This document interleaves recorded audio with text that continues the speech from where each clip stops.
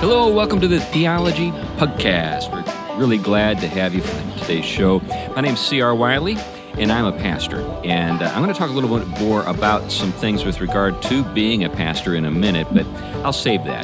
But uh, for now, just so you know, as I said, I'm a pastor. I've taught philosophy. I've been a real estate investor. I've actually also been a home improvement contractor. I've done a range of things. Uh, enough about me. Tom, talk a little about, about yourself and, and tell us a little bit about guitar. Okay, uh, Tom Price, uh, systematic theologian, Christian ethicist, teaching both at a variety of places. But uh, I also, yeah, I did my undergrad in classical and jazz guitar. Um, I love to play the guitar. I taught guitar for 18 years. Wow. And so, and I'm getting back into playing guitar. So now that I'm coming upon a little bit of a tiny break for the holidays, I have already started, uh, restrung some things and I'm um, about to do a little uh, damage, as they say. yeah, we, we saw some we saw some photographs online with you and your guitar and Sea Hag. Yes, Sea Hag, which happens to be the IPA of choice uh, with uh, Tom Price. That's right. All right, Glenn. I'm Glenn Sunshine. I'm professor of early modern European history at Central Connecticut State University, senior fellow at the Colson Center for Christian Worldview, and I've also written a couple of things. Now, you also play some instruments, not just one instrument. You've got a range of instruments. Tell us, tell us, tell us about the the uh, the the unknown Glenn Sunshine, the Glenn Sunshine that other people have not actually had a chance to experience. Yeah, I, am mostly a woodwinds player. Okay. Uh, I used to play a little bit of, of guitar and actually tuba. Um, oh, tuba. Yeah, in the marching band. I learned I learned flute and tuba in the same summer. Um, but uh, mostly woodwinds, clarinet, um, sax. Once I get it overhauled, uh, different kinds of flutes, regular flute, Irish flute. You know, very simple system flutes, penny whistles, recorders. Uh, and I've got a, here's going to be a shock for all of you. I've got a 16th century German bagpipe. We, I a, a genuinely, bagpipe. yes, I genuinely like the really obnoxious early woodwinds. now, now with with the German bagpipe, what makes that uh, German? Uh, what distinguishes it from what we normally think of uh, when we think about bagpipes in Scotland? Well, the, two things are important about it. First of all, it's designed for indoor playing, which means it will not blast your eardrums out. Okay. Um, which, but, which Lynn is grateful for. Yes, that's the only reason I was able to get it. Um, the the uh, the other thing about it is it's it it plays a different scale. Okay. I mean, and and it doesn't the drone system there there are various ways you can set up the drones on it but again it's different from what you hear on the highland pipe which is what most people are most familiar with yeah now now tell me a little more about the Germans and the bagpipe, because I mean, I, have never associated Germany and bagpipes. There are actually multiple kinds of German bagpipes. Huh. You have translating them into English. You have a reproduction of what they think medieval pipes were like. They call them market pipes because they're so loud you can only play them in an open market type area. Yeah, yeah, yeah. Uh, you have um, shepherd's pipes, Schäfer pipe. Uh, there's um, uh, one that's actually used all through Central Europe, which is a little bit strange looking. The drone actually goes down your back, and they've got a curved bell on the bottom. It's usually called a Dudi or sometimes a Bock. Uh, and then the one I have is the indoor, smaller indoor one called a Hümmelchen. Hmm. So what, what got us into this, folks, in case you're wondering, why are they talking about instruments and stuff like that right now? Well, before we turned on the microphones, uh, Tom told us that he was getting back into getting back into guitar, and I asked you, Tom, is it like riding a bike, or is it kind of like because you were you you said how long had it been since you really I put it down for ten years. Ten years. I know, I know for those who have seen me, it doesn't look like I'm that old, but but but but you said it, it kind of is like riding a bike in a way. Yes, it's uh, one of the things that uh, I mean. I didn't. You don't when you've worked hard on the instrument, you don't forget kind of the theory and the forms. And ah, the our waiter Ethan's here with some beers for folks. All right. Okay, so Ethan, now you're on the podcast. Yeah, you're on the podcast now. I'm all set for now. Thanks. Another, have another when you're coming around. All right, so so it's you you, you kind of pick it up and yeah, you pick it as I, I picked it back up. Um, really, I spent a couple of days, long days with it, um, and just did a lot of hand exercises and uh, uh, finger strengthening exercises, which you learn when you're starting anyway right, the instrument. And yeah, within a few days, uh, the the coordination and the um, hand strength comes back. I had to kind of re uh, I had to kind of get the calluses back again, though. Right, they right. kind of they kind of worn off, you know, worn down, and Right. um, and so yeah, there's a little bit of pain involved, as all good things require these days, and or should. Anyway, right, right. well, the thing that you know, I sat down for years and, and picked up about four years ago, five years ago, was um, my, my art, drawing, you know, visual art stuff. And uh, and the reason why I'm bringing that up now is is is because you know I that's what I that's what I felt like when I because I, had been away for uh, like going on 30 years, Wow. and uh, I'd had a dream of. Uh, being a comic book artist, uh, I could tell you all the guys that I followed and the things that I was into. But um, I've gotten back into it at a um, actually at the level of um, illustrating some stuff that I'm working on, and I've got a an interview tomorrow with an agent uh, concerning uh, a book, children's book called Daisy, and I think maybe I've shared that uh, a little bit, maybe not on the podcast, but in different settings that maybe people have, have had a chance to.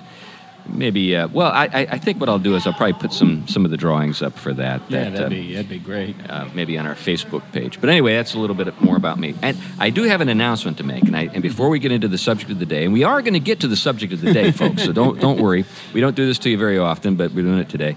Um, I'm in a, a transition now. The, the guys know about the transition, but you don't know. I'm going to be leaving uh, Connecticut and I'm going to be uh, working at a church, pastoring in uh, Washington State. That's uh, like 3,000 miles away. You know, that's not an insignificant transition. And uh, it's going to be uh, in the Portland, Oregon uh, region. So I'm actually going to essentially a suburb of Portland, Oregon. So that kind of helps you locate where in Washington State I'll be. I'm not going to be up near Seattle. I'm not going to be near Spokane. I'm going to be down uh, right outside of Portland. It's actually you actually you get out of the airport in Portland and you just drive across the, the Columbia. You can see the see Mount Hood in the distance there, and then you're in Vancouver, Vancouver, Washington. And uh, that's where I'm going to be. But anyway, uh, I'll, I'll let folks know more about that as days, uh, you know, you know as, as we get closer, as the days go by, and we get closer to the that transition. But We're fear- trying to find a convenient pub for all of us to meet in, but that may be a bit of a problem. yeah, fear virtual, not. virtual pub is in the, in the Right. works. yeah, fear not, folks. The show will go on, as you can tell. We've just made comments that, uh, that uh, Tom and Glenn have uh, made. But anyway, uh, let's get to the subject of the day, and it's really apropos because it's uh, Advent. We're in the Christmas season, and uh, it's Glenn's day. So, what are we talking about today, Glenn? Uh, I thought we would look at an early Christian writer, uh, early fourth century, by the name of Athanasius. All right. And Athanasius wrote a, a treatise called On the Incarnation. And I thought it would be worth taking a look at this for a couple of different reasons. Uh, but what I want to start with is that there are several editions of this that have come out. And by the way, it's available online in PDF uh, with an introduction by C.S. Lewis. yeah. And Lewis's introduction, it includes. I was actually rather surprised when I finally read it because it included a whole bunch of things I've, I'd heard quoted from Lewis and didn't realize it was actually From that. from his introduction here. So, what Lewis says about this, and this is, I think, really a good place to start. Chr- Christians tend not to read anything that isn't written by contemporary people Yeah. except perhaps some of our listeners who might be into the Puritans, you know, things like that. Right. Um, Lewis argues that we get so much of what we think of Uh, past writers, uses Plato as an example. We get it through modern writers. We don't get it from reading Plato. And he says, look, you know, any school kid, at least in his day, any school kid could read Plato and they wouldn't get everything out of it, but they get something out of it. Yeah. You read modern writers on Plato, and you're not likely to get anything at all from them because they're much harder than Plato is. Yeah. Right. That's right. Right. And he says when you go back to the ancient writers, you, you'll find that they're much more understandable than many of their modern interpreters. So that's sort of the first point that he makes. Yeah. But Yeah. then a second that uh, that I think is really important is that he says that well, he- he- somewhere in other places, I think it is he uses the word chronological snobbery Yeah. Yeah. you know the idea that our because we know so much our generation you know we're so well educated we're so well informed and all of that the past doesn't really have anything to say to us. Mm-hmm. And if the past disagrees with us, the past is wrong. That's right. That's right. Yeah. the the trick is he says you know every every era has its blind spots every era has some things that it gets right and other things it gets disastrously wrong and the only way you can see through the blind spots of your own era is to read works written in other eras if you just read contemporary writers, you're only going to be seeing contemporary biases, which you probably share with them, and therefore will never recognize them. Right. Right. So he recommends actually for every modern book you read, read one old book. Yeah. He says if you can't do that, make it three to one, Okay. three modern to one one old book. So this is a I think a really good point that he makes that you know because we do have blind spots. Every era has Right. got certain ways of looking at things that aren't necessarily the way things really are. Mm-hmm. You know, he says the past writers aren't any better than we are. They had blind spots too, but we'll see those. Right. Yeah. We, that they will help us see our own, though.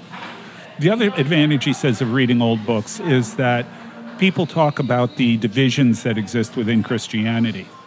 But he says if you read the old books, what you will find is that however much they may disagree, there is a such thing as what Richard Baxter called mere Christianity, mm-hmm. which is where Lewis got his title.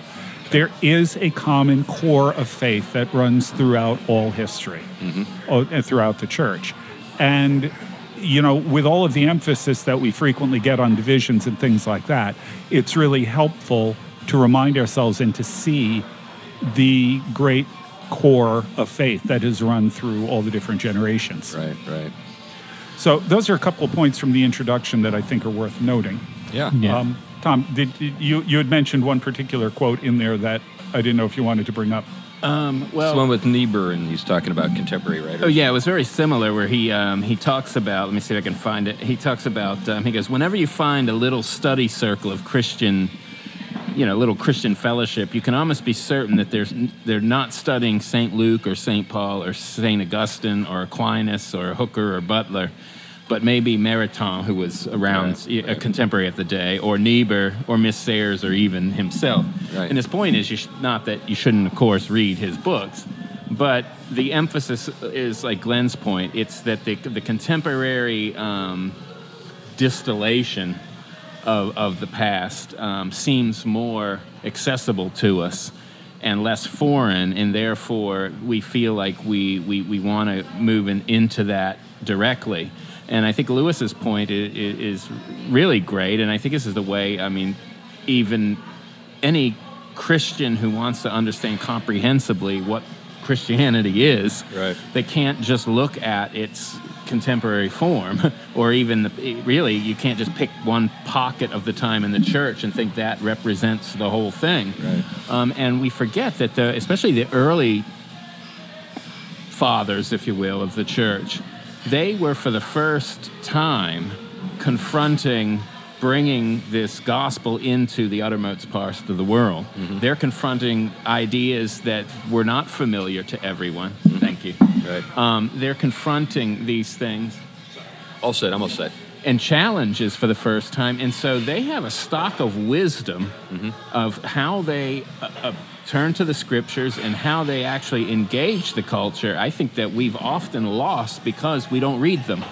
Yeah. And so we don't know how to, to we, we, we become reactionary or we absorb everything. And we don't know how to use wisdom to actually um, draw off of the wellspring of wisdom Right. to, to actually address issues and ideas Well, this- because we've lost touch with this. Well, and Athanasius is a really good person to think about that very thing with. I mean, when we think about Athanasius, we can think about obviously the incarnation, but we can also think about the famous statement that he made, Athanasius contra mundum, Athanasius against the world, which was actually uh, his, I guess, uh, battle cry, not with regard to sort of a secular culture, with the Arians, right? Right.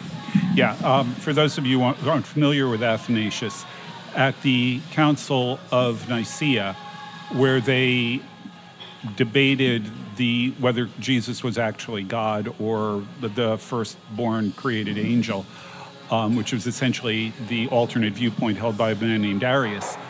The real champion of the Orthodox position was Athanasius. Yeah. He was the one who was arguing most strenuously against Arius. And oddly enough, he wasn't even at the council. Now, now, it's my understanding that he was exiled several times. Oh, yeah.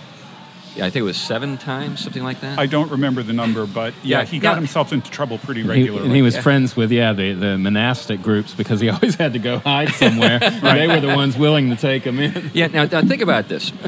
We yeah, he's also the one who writes the life of St. Anthony. That's right, Which yeah, is going to that's be one of the things that's going to trigger the monastic movement. and also be uh, instrumental in the conversion of Augustine. Yeah. Yeah. You know, so Yeah. so this is a guy that's uh, significant for a range of reasons, but but this is a guy that a lot of people would have had would at the time been uncomfortable having visit their church to speak. He was You know- the Doug Wilson. That's right. That's what I, you knew. You knew where I was going. So, just because somebody is a pariah at the at at the moment doesn't mean he's wrong. Doesn't mean that his views are nonsense or crazy necessarily, although that can happen. But uh, it, what we ought to be thinking about is not so much what do the cool kids think at the cool table about so and so, or does he get invited to write for the Atlantic uh, or put you know uh, opinion pieces in the New York Times? But is he right? Is he right, and why is he is he or is he or isn't he? That's what we really should be concerned about. Yeah. Yeah. Interestingly enough, moving into what he wrote here, um, it starts in a place that's really near and dear to Tom's heart the issue of creation. Yeah. But what is most striking about it is his discussion on the incarnation deals primarily with Jesus' death and resurrection, Yeah, Yeah. yeah. which is not what we think of No. around this time of year when we're thinking of the incarnation. But we'll get into some of the argumentation there you know, as we go, go forward. So he, he begins with talking about creation and fall. Yeah. And he, you know, we're all familiar with the idea of the fall into sin. We think about it primarily in terms of personal guilt. Yeah. You know, we are guilty and therefore we need forgiveness. We think of it in terms of legal categories. This is really peculiar to Western Christianity, Yeah. to the Latin world. Ath- Athanasius sees the problem as being the fall into sin but he views it through a really, really different lens. And I think that that's, again, one of the points that Lewis is making. I think it's really helpful to take a look at how he frames the problem. It isn't just human guilt, it's something that goes well, well beyond that. Yeah. But, uh, Tom, Tom, did you want to throw in anything on the creation part of this verse before we get there? Um, yeah, um, I think one of the interesting things, of course, is he he kind of um, Ethan, I'll do that vanilla porter now. Yeah. you know what Chris is getting right. as we talk about creation. um, so yeah, one of the things he points out, of course, is the centrality of the word, which is logos, to both creation and and redemption. Now that just that statement that you just made, Tom, is utterly alien to many of the people I know. Yeah, and unfortunately, we talk of creation only from the side of redemption to the point we almost eclipse it. Um, so, so we, we talk about being saved and and being um, brought into union with, with Christ, but we don't know what we don't know that that has a form and and and, and a final shape to it. You know, within evangelicalism, I think that when you talk about creation, the thing that they're really anchored into is how and when did it happen? Yes, You know, was yeah. it six days? Was it six Yeah. ages? Was it, you know, Which- the, how long ago was it? Which was It's those the sorts of least things. bit of concern And for that- the church for most of its history. And, and yeah, and that is a product of post Enlightenment rationalism. yeah, You know, they would never believe that or accept that, but it really is. That's- yeah. Because the significance of creation, the significance of Genesis 1, is not in giving us a history of what happened chronologically or anything Yeah. else. Whatever you may think of that issue, that's not the main point. That's right. And he hits it, Athanasius, he hits about it. He moves right to the, the most significant thing about the doctrine of creation is it's the introduction of creaturely being entirely. and he talks about right. sin as the pull into non-existence, um, to nihil.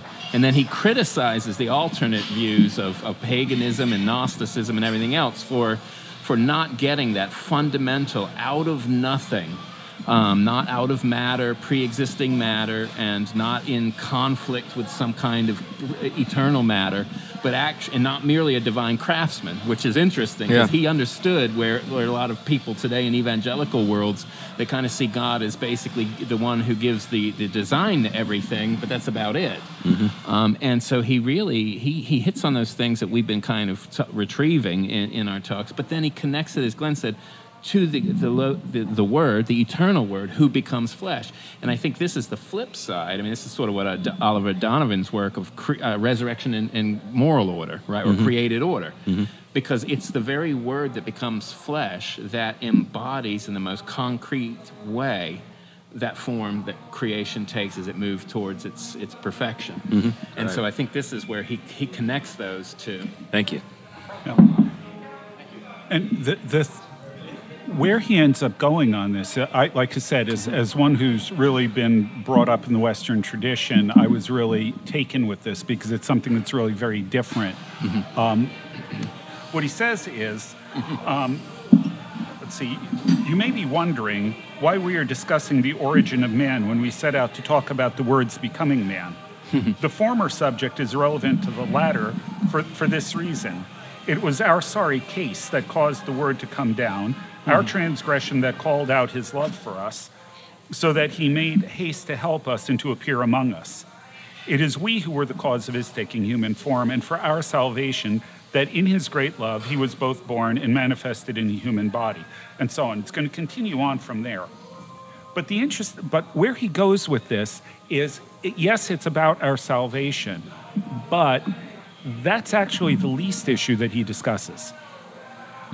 So where does he go from Where, there? where he goes, he talks about what he calls the divine dilemma. Okay. And this is, uh, this is in chapter 2.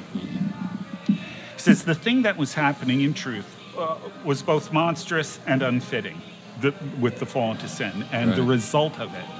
It would, of course, have been unthinkable that God should go back upon his word and that man, having transgressed, should not die. God promised, If you sin, you will die. right. But it was equally monstrous that beings which once had shared the nature of the Word should perish and turn back again into non existence through corruption. Hmm. Hmm. It was unworthy of the goodness of God that creatures made by Him should be brought to nothing through the deceit wrought upon man by the devil. And it was supremely unfitting that the work of God in mankind should disappear either through their own negligence or through the deceit of evil spirits. As then the creatures whom he had created reasonable, like the word, were in fact perishing, and such noble works were on the road to ruin, what then was God, being God, to do? Was he to let corruption and death have their way with them? In that case, what was the use of having created them in the beginning? He goes on, Right, on from right. there. and this, by the way, is an argument that I've heard articulated just recently. You know, if if we're you know if we're faced with judgment and hell, why did God create us in the first place? Mm-hmm. You know, and well, the answer is of course in the incarnation. The, but what he points to isn't just our need. Yeah. What he points to is something about the character of God and Right. the Yeah. dilemma that God faces with the fall into sin. On the one hand, either his entire work of creation is nullified, Right.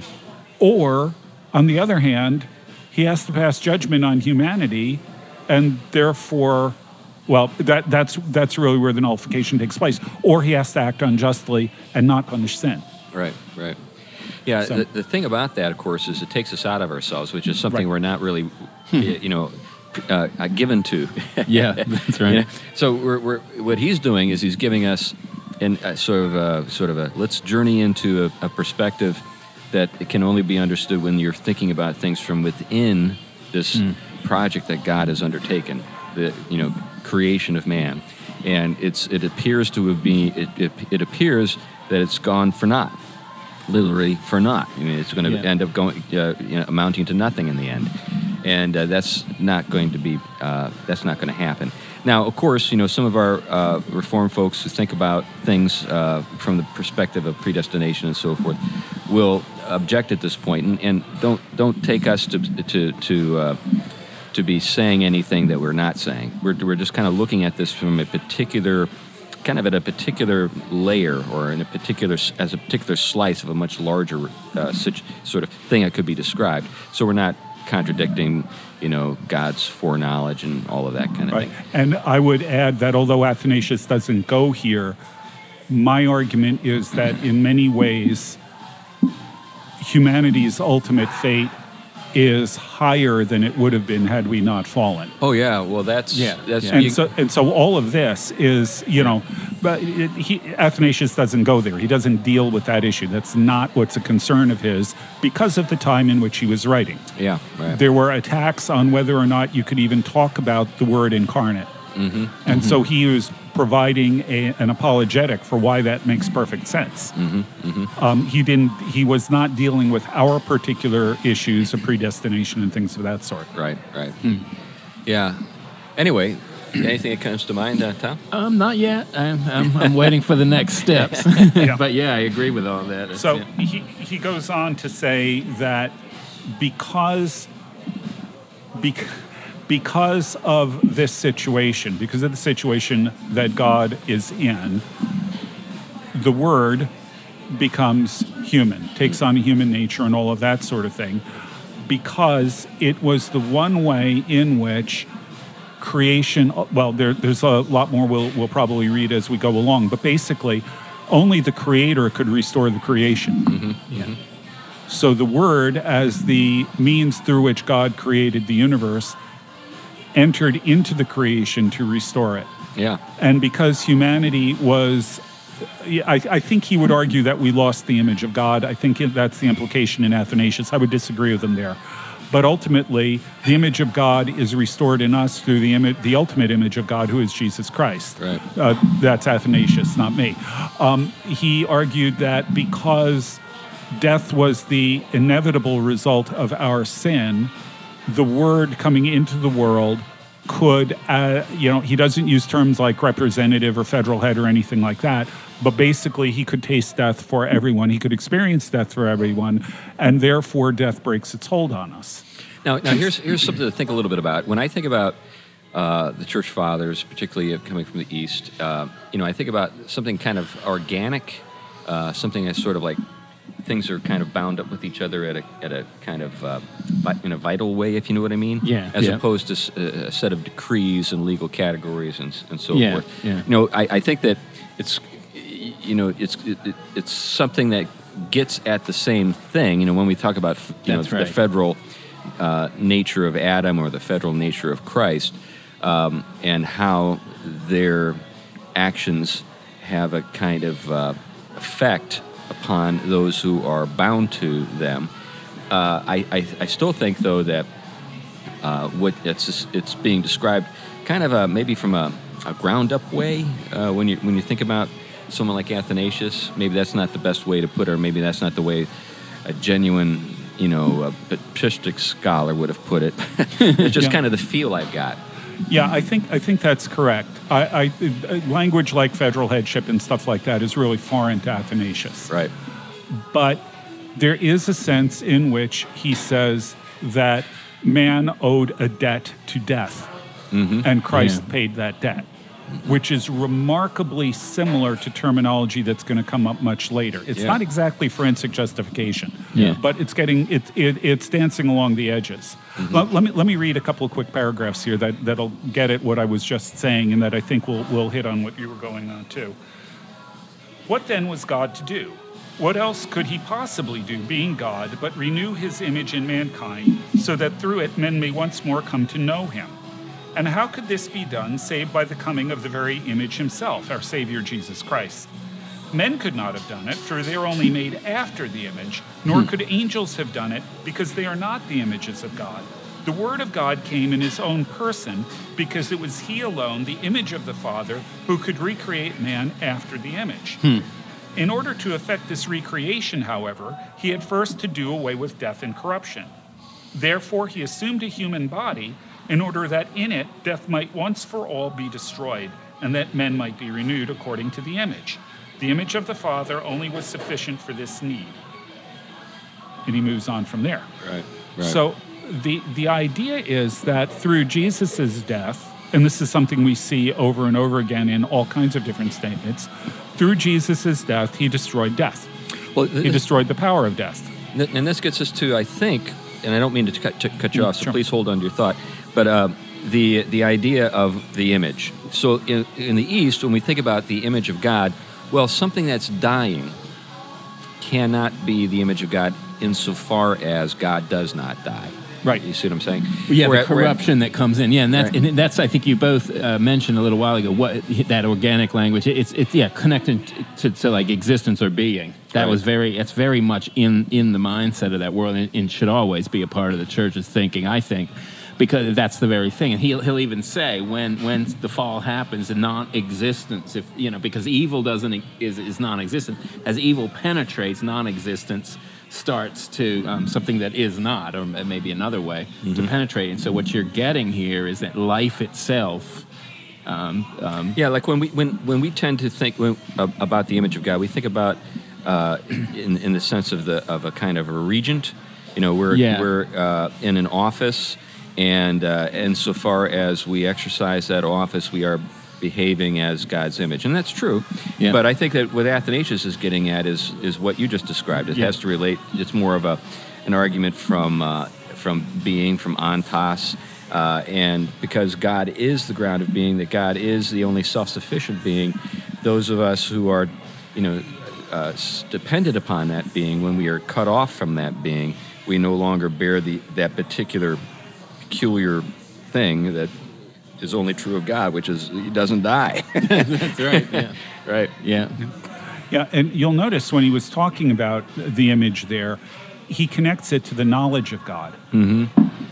And one of the th- things that he says that is ignored by the creeds, incidentally, is that in Jesus' life, he renewed the knowledge of God. He taught the knowledge of God in his words and his deeds, in his actions. So that Jesus' life becomes a way in which human, his life, not just his death and resurrection, Yes. becomes a way in which human beings can once again learn to know God. There, there, that was a huge point. Tom Torrance, yeah, you know him, a big, uh, kind of very influenced by Barth, um, Yeah, sure. Scottish Reformed uh, figure. Yeah, he has complicated re- relationship to to the rest of the Reform. But one of his his big insights, he was a big, he shaped a lot of his understanding from from. Um, Athanasius. Athanasius. And one of the things he actually said, because somebody asked him once, you know, when were you converted? And he, he gave the, you know, Christmas birth date, the incarnation. Ah, yeah. I was I was born. When were you born again? Well, I was born again when Jesus was born. and his point yeah. was that Athanasian point is that it's the life um, from the incarnation on that is a part of that whole thing. Um, it's not, not my subjective realization of Yeah, it. yeah, It- it- yeah. It's that life lived, Right. and then the significance of that life. Um, so it's not just the, the, the, the sacrificial that we tend to put on that. That's the that's the high point of Mm-hmm, it. That's the the redemptive moment. But it's that whole life too, and that that's what connects it to. And this is very interesting because it does show something that I think it often gets. You know, we often say, "What would Jesus do?" You know, that kind Right, of thing. But we very very carelessly look at what he actually how he lived Right. that form of existence which is the image of god Yeah, N.T. Wright talks about this as well, where he says, you know, we really ignore Jesus' life. Mm-hmm. And, you know, we, we focus on the incarnation, we focus on his death and resurrection. We don't pay attention to his teaching. Yeah. We don't pay attention, you know, I mean, we'll talk about the miracles sort of in an apologetic way, but we don't really focus on what he taught, what he did, all of those kinds of things. And he says, frankly, the creeds did us an injustice here. He says, now the creeds were written to address specific issues in their own day. Nobody in that day thought that it was uh, that we shouldn't be focused on obeying Christ and following Him and paying attention to His teachings and all those sort of things. That was not at issue. yeah that would tend And to be taken for granted and then, so yeah. that was left out of the creeds. yeah But that's exactly the message that's missing today. yeah Right, right. yeah It's always the stuff that's taken for granted that uh, you end up losing. Right. You know, it's and, and those become your blind spots. And then, yeah, that's that's exactly what Lewis was talking about. yeah yeah Now, yeah. Uh, I'm, I'm going to move on. Here's another point connected to this, but that he takes a little bit further. And All set. I'll be I'll be honest with you, I don't know entirely what I think of this point. Okay. But he says, I'm, I'm, I'm jumping for the, if, you, if any of you have uh, this, this is between uh, he's waiting on it. I don't paragraphs 16 and 17, or whatever the unit is here. And this is chapter two. You know, the, the paragraphs are all numbered sequentially, at least in mine. okay. So So, he says, um, actually, we're well past chapter two. okay. Uh, he says, uh, There were thus two things which the Savior did for us by becoming man. He banished death from us, and he made us anew. And, invisible and imperceptible as he himself is, he became visible through his works and revealed himself as the Word of the Father, the ruler, and the King of the whole creation Through his works. through his works. Now, by the way, uh, it's worth noting that that um, he talks in terms of something that theologians have referred to as divine accommodation here. Right. That is to say that Calvin talks about God lisping to us, Right. uh, or speaking baby talk to us. He he communicated to us in terms that we can understand. Um, about the nature of God and so on. Now, th- this is a subject that's near and dear to my heart. I wrote two master's theses on accommodation, so the, um, uh, so I figure I have to at least throw that in. but but then you know, so so he he abolishes death and he reveals the knowledge of God to us by his work works and word. But then, then Athanasius goes on to say, There's a paradox in this last statement which we must now examine. The Word was not hedged in by his body, nor did his presence in the body prevent his being present elsewhere as well. When he moved his body, he did not cease also to direct the universe mm-hmm. by his mind and might. Yeah. Yeah. That's, Yeah. That's That that's something Yeah. I've never. I mean, it, Yeah, on, we on one level, he, when he says it, it's like, well, yeah, that ought to be obvious, but somehow I never really thought of it. Well, I think a part of the reason it may not be obvious is because there's been a kind of division of, of tasks in the Godhead that uh, people have kind of thoughtlessly and, and unscripturally Yeah, uh, yeah. assigned. So the Father is supposed to be running the world. Right. You know? Except that's not what it says in Exactly. Colossians. That's right. That's right. That's right. and, and so Jesus didn't give up, excuse me, the second person of the Trinity did not give up his role in running the universe through the kenosis when he became incarnate as Jesus. Yeah, Right, right. and being the unifying uh, point of it. right. I mean, that's that's the other the other part of it is he, he all things in him are held together. So you're here in, in his contingency. Yeah. So did he- so when he, while he was incarnate, did everything just fall apart? Was there like, you know, uh, you know, throughout the universe, you know, su- you know, planets falling into their suns, you know? and even even in his death, I mean, it's all Right. being held together, Right. And being, in, in, if anything, uh, being more firmly held together. right. Right. Uh, but yeah, that, that's uh, a lot of people, you know, because they yeah they tend to, to break up the, the the unified Trinitarian work. They think some other person of the Godhead is carrying out those things while the Son is doing this, and they, they I mean, it is beyond. Let's admit, it's a mystery uh, it- to be adored than something to fully unpack. But I think Athanasius is digging in places that, you know, these are glimpses we're given in Scripture, and and so we should kind of consider them. Well, I think we've talked a lot about uh, the inability of, of uh, many Christians to think about creation uh, at, in many respects, apart from the thing that you noted earlier, Glenn, our, our, our concern about time and dates and, and duration and stuff like that. As though if we had that all resolved, everything would just sort of, everything we needed to know about creation would just be, uh, you know, we didn't wouldn't need to think about anything else. Right. Whereas, whereas um, if we think about Christ, the Creator, okay, just think about that statement.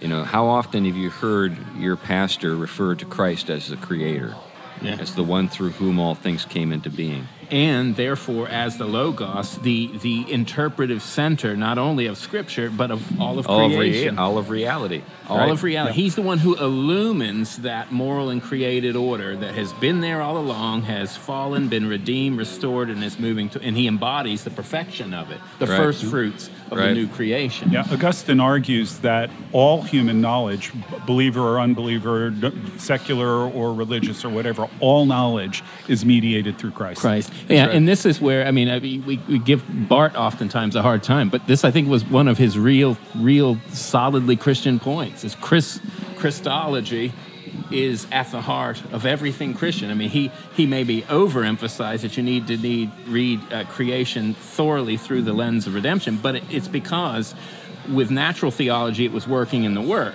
in the opposite direction as Enlightenment natural theology. Right. So his worry was that the eclipse of this very point. Um, but after he he so emphasized that with only with the with Right. the with the huge he ended up falling back on the other side of other the pit, yeah. and I don't think he intended to, but I just think he, I just think the imagination, if the imaginative ability were there, and I don't think any human has it, um, I think he would have been, he would have been onto it. And and there are, you know, Well, as uh, Barth, like everybody else, was a creature of his era. That's right, And his right. upbringing and everything else. And there were certain things that Yeah. were blind spots for him, places where he did not think he could go. that's right, And, you know, that that's true of all of us. that's right, that's right, yeah, So yeah. Now um, I'm going to move on to the death of Christ. okay, Okay. And the thing that is curious about this to me is, I mean, I'm, I'm going to skip over a lot of the discussion, where the, the things that we're more familiar with about, you know, d- destroying death and things like that. I found it interesting that he actually spends a great deal of time talking about why crucifixion As opposed to another form of death. as opposed to another form of death. He Okay. does this particularly when he's when he's refuting the pagans. Okay. okay, but he actually has an interesting paragraph here that that's worth noting. this is in chapter four for those of you who are interested. so much for the objections outside the church. Okay. Um, but if any honest Christian wants to know why he suffered death on the cross and not in some other way, we answer thus In no other way was it expedient for us. Indeed, the Lord offered for our sakes the one death that was supremely good. He had come to bear the curse that lay on us. And how could he, quote, become a curse otherwise than by accepting the accursed death? Hmm. And that death is the cross, for it is written, Cursed is everyone who hangs on a tree. Again, the death of the Lord is the ransom of all, and by it the middle wall of partition is broken down, and the call of the Gentiles comes about. How could he have called us if he had not been crucified? For it is only on the cross that a man dies with arms outstretched. Hmm. Yeah. Here Yeah, again, we interesting. see the fitness of his death and of those outstretched arms. It was that he might draw his ancient people with one and the Gentiles with the other, hmm. and join both together in himself. Even so, he foretold the manner of his redeeming death. I, if I am lifted up, will draw all men to myself. Hmm. Again, the air is the sphere of the devil, the enemy of our race, who, having fallen from heaven, endeavors with the other evil spirits who shared in his disobedience, both to keep souls from the truth and to hinder the progress of those who are trying to follow it. The apostle refers to this when he says, quote, according to the prince of the power of the air, of the spirit that is now at work in the work, excuse me, that now works in the sons of disobedience. But the Lord came to overthrow the devil and to purify the air and to make a way for us up to heaven, as the apostle says, through the veil, that is to say, through his flesh. This had to be done through death. And by what other kind of death could it be done, save by a death in the air, that is, on the cross? Here again, you see how right and natural it is that the Lord should suffer thus, for thus being for being thus lifted up. He cleansed the air from all the evil influences of the enemy. Hmm. I beheld Satan fall like lightning. And he goes on. Right. This is not a way that we think. No, no, no. It- What it, what it requires is a, a- is a, is a uh, being attuned to uh, a kind of choreography of meaning, you know, or, or an embodiment of meaning, uh, and a suffusion of meaning throughout all of reality. Yeah. So that everything means something. So Yeah. today, and, most and, and again, we're at this issue of, fa- of meaning rather than just facts. Right. That's yeah. right. We we want to limit ourselves to the facts, Yeah. and uh, in the minds of many people, I think they would say, well, it wouldn't have mattered the way he died, just so long as it was, uh, you know, something that had been. Uh, a, a you know a, a, a manner of execution. So Yeah. you know drinking the hemlock The- or having an you know The- being an electric the, no- chair. The nominalists again. right, right. Whereas what Athanasius is saying, no, is that that all of this is is orchestrated, and and and, and I don't know how you argue with this point about the air. I mean, being the realm. I just don't think that even people know how to interpret that that that statement by the Apostle Paul. When, Right. You know, they, he says the Prince of the Power of the Air. People are like, well, whatever. yeah, yeah. they don't. They don't even They're go thinking, there. you know, yeah, they're thinking, you know, a huge electrical tower or something that's kind of controlling, you know, electricity or something within a place. They, yeah, there's no, there, there, a lot of the imagery, but what you see is someone completely immersed in the scriptures and the theology of the church and, and the worship of the church here.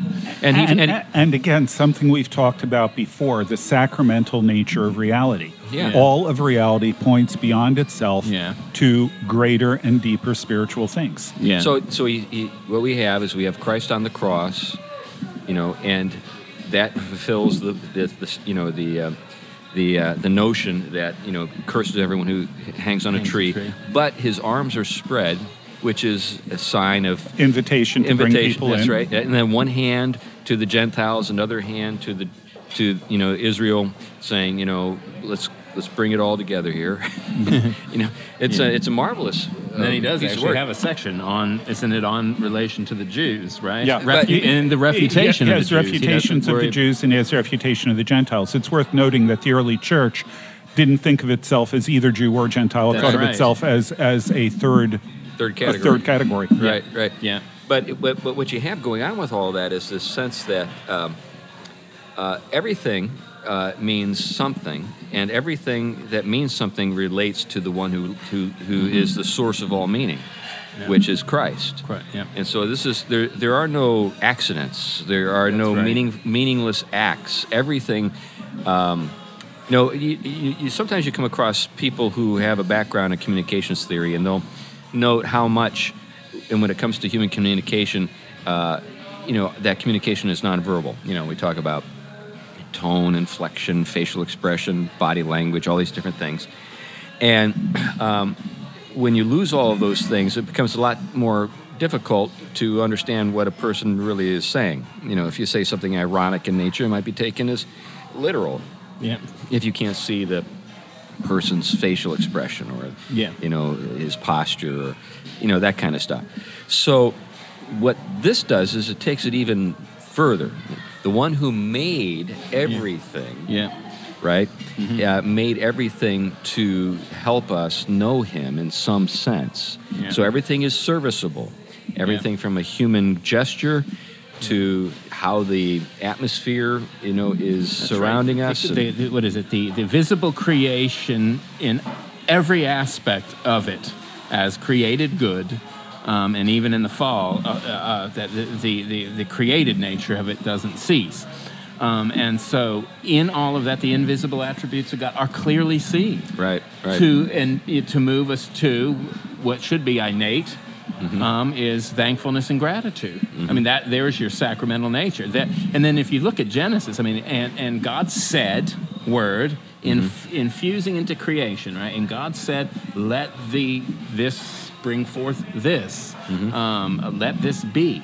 And so what you have is is the logos is is formed in accordance with word the word Right. who that that uh, illumines everything but also i think it informs everything and so that every single part and particle and, and aspect of creation is has something of the refraction of the eternal logos in it and finds its fullest meaning and reference in relationship to it Yeah, I think that's a beautiful way of putting it, refraction, because not, no, no aspect is entirely, uh, you know, capacious enough to hold the whole. that's right that's right But there's something there. there. And it's meant this, you know, they uh, oftentimes, you know, the, you know, they, I think the, the, the patristic traditions, the theophanic nature of creation, that it's meant to, um, um, you know, to to manifest the the glory of God. The, the glory of God communicates itself to it in such a way that it it finds its perfection in glorifying God. So, how could God, with that in mind, just let it go? Just Yeah. say, well, it's given over to death. Well, you know, easy come, easy go. Win some, you lose some. Yeah, yeah, yeah, yeah. yeah. and I'm going to keep moving on. All right, all right. This is the point, actually, again, that it was just really surprising to me for a whole lot of reasons. He Mm-hmm. moves on in chapter 5 to the resurrection. Mm. And the interesting thing about the resurrection is he doesn't do what I do with the resurrection, which is give a, a, a, a defense of it. You know, why this is a historical fact. Mm-hmm. Right, Right. right, Instead, what he does is he looks at its impact on us. Hmm. Now, he begins with his discussion of the fall from the perspective of God. Hmm. But here with the resurrection, he talks about it in terms of its impact on us and Right, where this right. what where hmm. this goes with us. Right. So one of the things that he says, this is uh, chapter five on the resurrection, um, section twenty-seven. A very strong proof of this destruction of death and its conquest, uh, and its conquest by the cross is supplied by a present fact, namely this: all the disciples of Christ despise death. They take the offensive against it, and instead of fearing it, by the sign of the cross and by faith in Christ, trample on it as something dead. Hmm. Hmm. Hmm.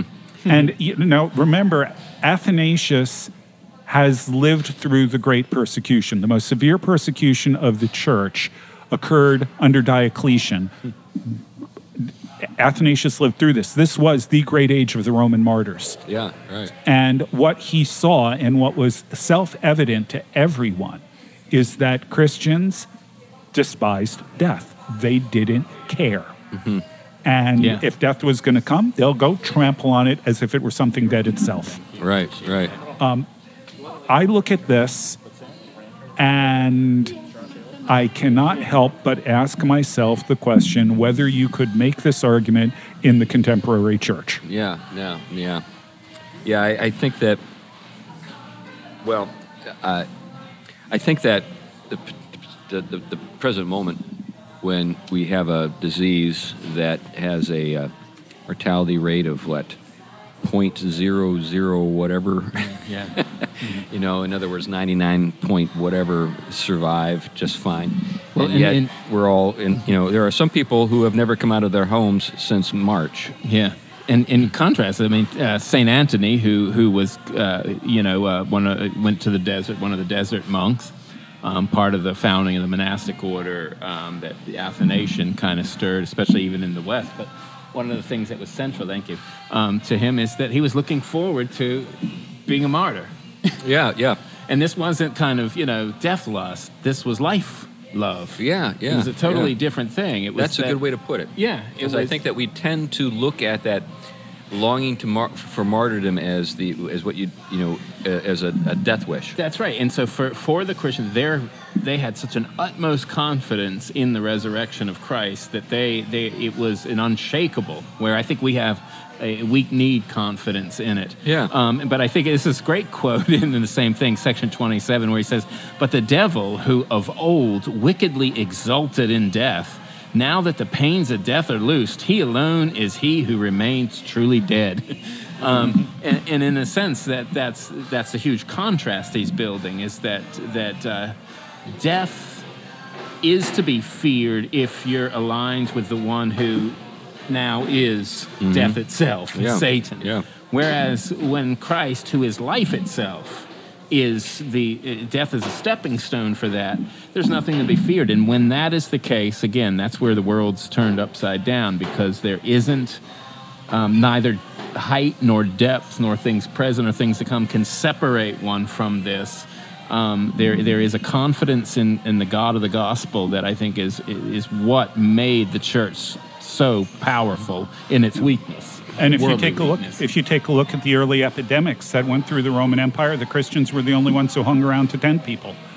Uh, there's at least one of them. I found a quote from one person who said that if he died during plague, it was martyrdom. It didn't matter one way or another. Yeah. You know, it, it, it's you know, the, and there's plenty of testimony that said that during plagues, Christians acted with complete disregard for their own lives to tend the sick Yeah. because they knew that if they died, they moved to a better life. And further, I think part of it is that Jesus was a healer, and so they did what they could to live in imitation of him.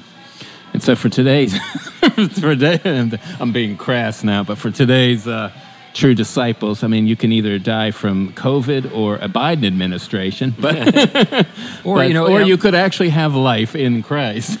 well, or and a series of other things. It seems Yeah. as though uh, you know the the uh, the cure is as bad, if not worse, than the disease. That's right. You know, the psychological uh, well-being. Um, you know. You know, economic well-being. A lot of other things have been sacrificed at the altar of uh, not getting the disease or giving the disease. And I think uh, one of the things I'd like to re- explore a little bit with the, with you guys uh, as uh, we think about death is kind of its corollaries, sort of uh, like for example, uh, social shame. So uh, shame when you are rejected, uh, when you are um, considered unworthy of regard, is a kind of social death. That's a as fear is sort of fearsome as physical death for many people. Yeah. Yeah. Uh, but they're not unrelated things. I mean, Jesus died, uh, you know, the object of shame. You know, this is something that was directed toward him by the authorities, by the onlookers, and so forth. It was this was a shameful way to die. Um, so I think that you know the the, the death and resurrection of of, of our Lord. Uh, it, it deals with not only the physical, you know, cessation of life, but other kinds of ancillary and related things, uh, including shame. Because I think that we have this idea. I think when we read something like Foxe's Book of Martyrs or something like that, that as people looked on and saw these great Christians dying in the flames, that everybody was feeling kind of ashamed of themselves. they were like, "Oh, I can't believe that I." Uh, you know, I condone this. Uh, no, they were cheering lustily and mocking these people as they Yeah. were consumed by the flames or Yeah. died as they were being stoned. These people who were doing these things to them felt like they were doing the right thing. yeah. So Yeah. that's something that I And think further, they felt superior. yeah. Yeah. We need to we need to have that sink in because uh, if we if we have this uh, illusion that uh, even as we die, everybody is sort of uh, aware that they're in the wrong and we're in the right. Well, we're going to be gravely disappointed if we ever find ourselves in that spot because we're not going to enjoy even that measure of satisfaction of knowing that we're right or and they know we're right. no, they might they might actually say you deserved it. In fact, I wish it would have been more painful. Yeah, and yeah, it, what, what I'm, I'm kind of struck by through, through this is again our discussion about the nature of evil.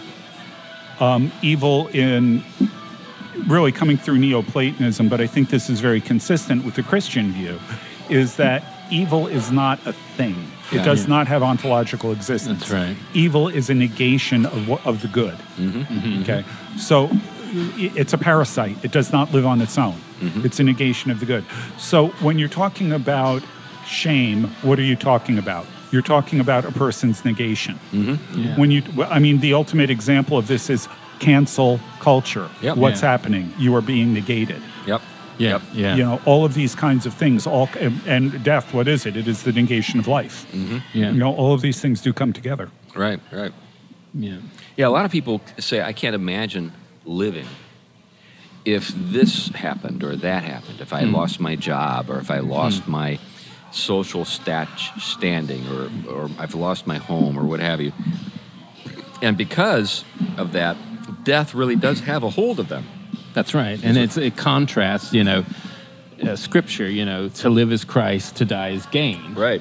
Um, and and it is, you know, it, it is this kind of, you know, um, secular sense that the here and now is everything, and that there isn't any. And I, and this is something you know, we, we go back a lot of episodes. It was something I was thinking about writing a book on once. I may return to it. Is the eclipse of the eternal vision? I know others are writing on it, uh, Hans Boersma and others from their own tradition. But I really think that's a heart of it. I mean, this is something Augustine's onto with the city of God and stuff. It's, you know, city of man, city of God. Is that um, is that the here and now, the this worldly, my best life now, Right. is so of such um, such importance that if I don't get to realize it in every fullest sense, somehow I'm being cheated, and therefore all is lost. Right. And, even for Christians, they Yeah. really I, I'd, I'd like to point out that if this is your best life now, you're going to be in real trouble after you die. That's right. That's right. Um, And, yeah. yeah, the the um, I'd, I'd, I'd like to push this a little bit further. Um, I'm just going to go thematically rather than through the, the rest of this. Right. But one of the other interesting things he says is you know, there's several dimensions to this.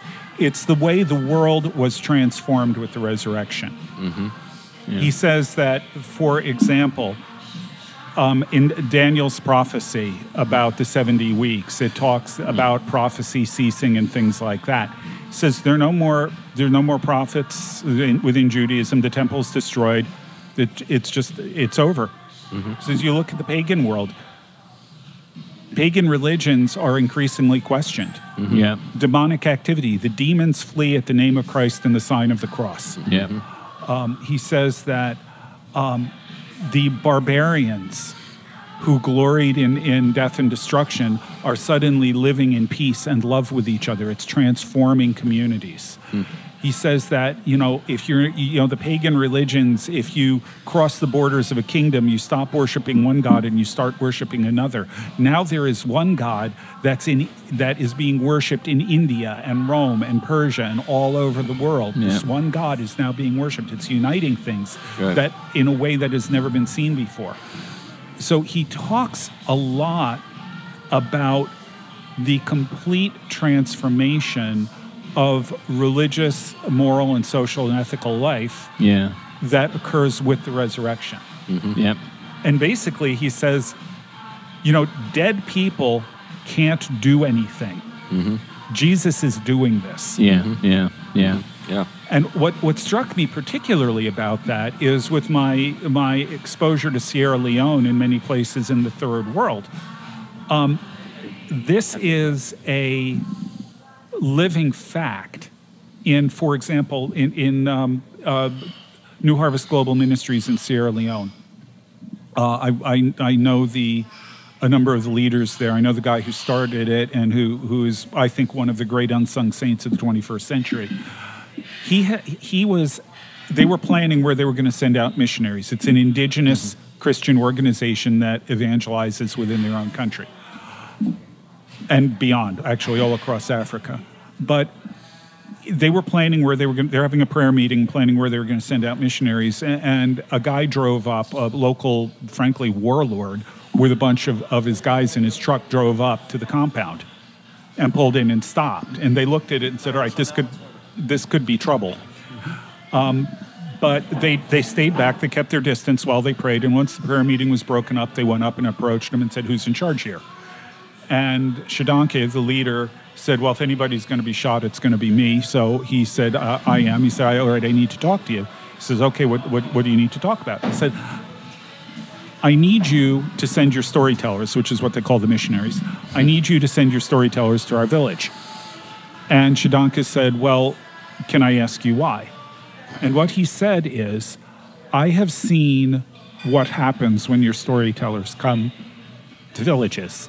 I have seen villages that have been at war with each other for generations planting crops together peacefully. I've seen families that have been fighting each other united and living together peacefully. I mm-hmm. don't know what you're telling them, but whatever it is, we need to hear it. Yeah, that's great. Yeah. And then, well, there, there's more to the story, but let me just add this coda to it. Shadanke stopped counting after the 35th time this happened. Hmm.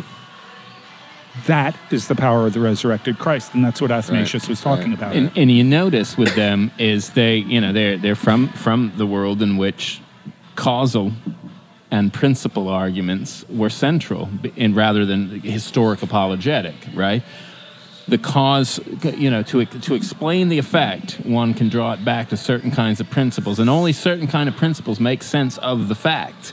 And so the resurrection being the best principle from which and cause from which these things happen, um, rather than than you know, I mean that's the way they're looking at it. And that if you notice that in his language, he'll even say that very quickly. The cause of this must be this. yes. Right. Um, right. and, and they're not afraid from that language where we tend to we want to move away from principles the sources from which things happen and causes you know that the, the the the cause you know fr- um, which brought about something to kind of quantitative and when we do that it be- enters that whole domain of interpretive which causal and principle, that's a whole other thing. It's probably confusing people at this point. But the, the classical way of viewing these things was such that you had to come down somewhere. And Athanasius understood where you had to come down, and the church did, um, both in relationship to its doctrine of God and Christ's resurrection. Yeah, when the gospel is preached, things happen. Yeah. That's Yeah. a that's a good point to, to sort of draw this in because we're, we're we're at the time that we should wrap things up. We had a request this past week to do a little better job of maybe summarizing our thoughts. I don't know if you have anything that you want to say, Tom, with re- relationship to that. Um, no, my best thing to say is go out and uh, get a copy or online and read it um, and Yeah, think I- about it. And it's then not if a you terribly need, large book. and if you need to send us a note about it, that would be fun. Um, can't say we'll respond to everything, but we would be happy to. But uh, I think there are many works like this in the in the whole work of our early brothers and sisters that uh, uh, uh, wrote and thought and gave us, you know, brought the faith to us. so that edition, how many pages is that? This just one, so folks uh, this one is sums up. It's 119 pages. Uh, this one's the uh, one. It's got the introduction to by C.S. Lewis. It's on Saint Vladimir Seminary Press. It's on the Incarnation by Saint Athanasius. If you look it up online and ask for Athanasius on the Incarnation PDF, at least what comes up on Google, the second one down is a PDF that is 39 pages long, including the, type, the title page, wow. with the introduction by C.S. Lewis. yep, that's And a smaller print and- than and- your book. And, and yeah, and that that's the one I used. Um, I agree with Tom. The best thing that you can do is to pick this thing up and read it. I gave you some of the highlights of it. There's actually one final thing I would like to read. Sure, please. And um, this is, I, I think that our lives, our faith is immeasurably enriched by encountering the great thinkers of the faith mm-hmm. because they bring perspectives to us that we do not have in our modern world. Right. And while we can say, yeah, we might not agree with everything in there, there's nothing in here that isn't worth considering Right. Yeah. and really pondering. But one of the things he says, it, as he's heading toward his conclusion in his refutation of the Gentiles, hmm. is one of the probably the most famous statement from this book, although it's usually translated a little bit differently than what I have here. He talks about the impact of this. What, what is it that Christ has accomplished? He says, He indeed assumed humanity that we might become God. Yep. He, now, he doesn't mean literally become Yeah, God. That's right. Yeah, we're not talking like the Mormons. Yeah. Yeah, we're, That's we're, it. we're, we're talking we're talking what the Orthodox world calls theosis. Yeah. becoming partakers of the divine Divine nature, life. being united with Christ in Paul's words. That's what he's referring to. Basically, uh, we could say it, it would a creaturely share in Christ's sonship in relationship to the Trinity for those in the Reform world. A creaturely share in Christ's sonship. Right. Right.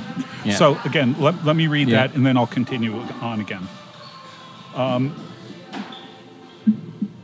he indeed assumed humanity that we might become God. He manifested himself by means of a body in order that we might perceive the mind of the unseen Father. He endured shame from men that we might, by his own impassibility, uh, excuse me, that we might inherit immortality. I'm- I crossed lines here. He endured shame from men that we might inherit immortality. He himself was unhurt by this, for he is impassible and incorruptible. But by his own impassibility, he kept and healed the suffering men on whose account he thus this endured. In short, such and so many are the Savior's achievements that follow from his incarnation that to try to number them is like gazing at the open sea and trying to count the waves. Yeah. I think that, as I said, this is worth reading, worth pondering, especially during Advent as we're Yeah. heading up mm-hmm. to Christmas. Yeah. Good stuff. And it's available for free. That's Yeah. right. It's public Yeah. domain. Yeah. All right. Well, great stuff. Why don't we wrap it up here at this point? There's a, a lot uh, that we've given our listeners to, to go home and, and do. So I think we can feel good about ourselves as, uh, as, as people who have loaded on the backs of our listeners great bird. No, I'm- But we will lift a finger to help them. That's right. Anyway, thanks a lot for listening to the Theology Pugcast. We really do do appreciate all the support, and we we are, uh, as we've said many times, astounded at the number of people who care about what we have to talk about. Anyway, bye bye. Bye now.